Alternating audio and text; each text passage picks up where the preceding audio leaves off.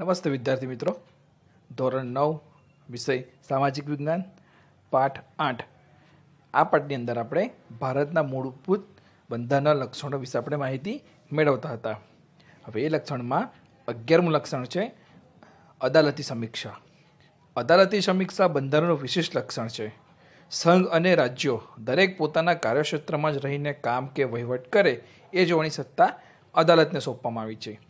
એટલે કે સંઘ સંઘ અને રાજ્યો છે, એ દરેકને પોતપોતાના કામો સોંપવામાં આવ્યા છે. અને એ કામો એ પોતાના કાર્યક્ષેત્રમાં રહીને જ કામ કરે છે, એ જોવાની સત્તા અદાલતને આપવામાં આવી છે.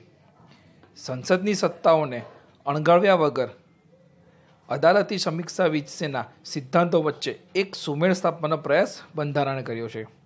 એટલે કે સંસદની જે સત્તાઓ છે, એ સત્તાઓને અણગયા વગર અદાલતની સમીક્ષા વિશેના સિદ્ધાંતો વચ્ચે એક સુમેળ સ્થાપવાનો પ્રયાસ બંધારણે કર્યો છે.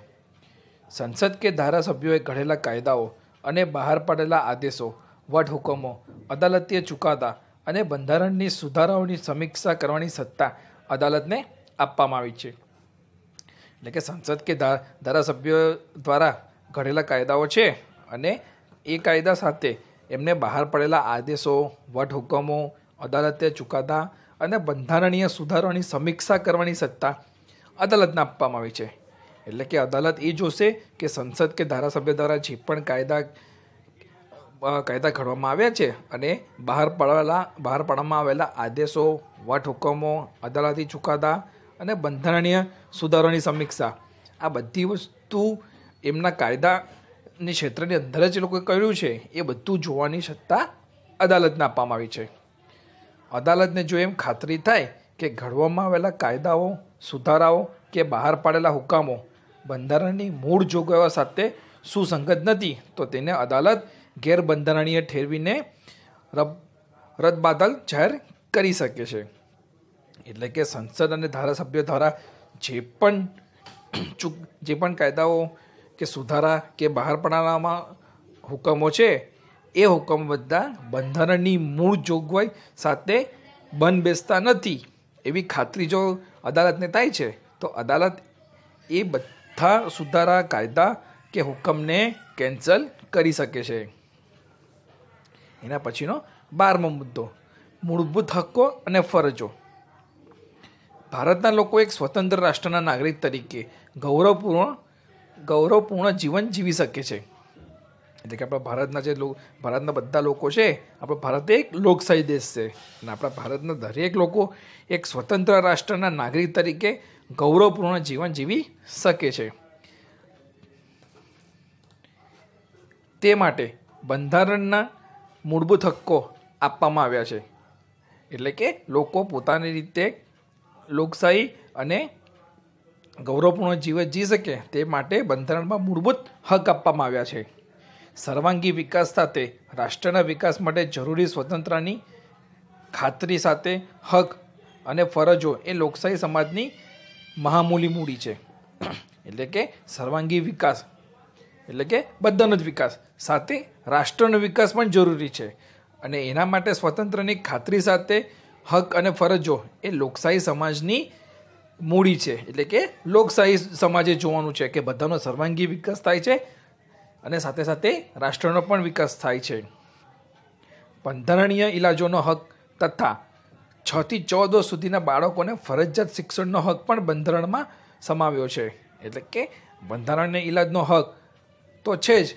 અને સાથે સાથે છ થી ચૌદ વર્ષના જે બાળકો છે, એ બાળકોને ફરજિયાત શિક્ષણનો હક પણ મળવો મળેલો છે. અને આ બધું બંધારણમાં જોગવાઈ કરવામાં આવી છે. તેરમો મુદ્દો. રાજ્યનીતિના માર્ગદર્શક સિદ્ધાંતો. લોકોના રક્ષણ, સલામતીની સાથે કલ્યાણ સાધવાનો પ્રયાસ રાજ્ય કરવાનો છે. એટલે કે રાજ્ય સરકારે લોકોના રક્ષણ, સલામતી સાથે સાથે લોકોનું કલ્યાણ થાય, એટલે કલ્યાણ સાધવાનો પણ પ્રયાસ એ રાજ્ય સરકારે કરવાનો હોય છે. રાજ્યોને નીતિ ઘડતરમાં અને રાજ્ય શાસનમાં રાજ્ય નીતિના માર્ગદર્શક સિદ્ધાંતો માર્ગદર્શન આપે છે. એટલે કે રાજ્યોને જે રાજ્યોને જે નીતિ ઘડવામાં આવે છે અને રાજ્ય શાસનમાં રાજ્ય નીતિ, નીતિની જે માર્ગદર્શક છે એ સિદ્ધાંતનો એ માર્ગદર્શન આપે છે. તેથી પણ તે સિદ્ધાંતો, માર્ગદર્શક સિદ્ધાંતો કહેવાય છે. ચૌદ, ચૌદમો મુદ્દો. પછાત વર્ગો અને આદિજાતિઓ સાથેની જોગવાઈઓ. સમાજના પછાત વર્ગો કે પછાત જાતિઓ કે વંચિત સમુદાયના ઉત્કર્ષ અને તેઓને સામાન્ય પ્રવાહમાં ભેળવવા માટે સક્ષમ બનાવવા માટે ભારતના બંધારણમાં વિશેષ જોગવાઈ કરવામાં આવી છે.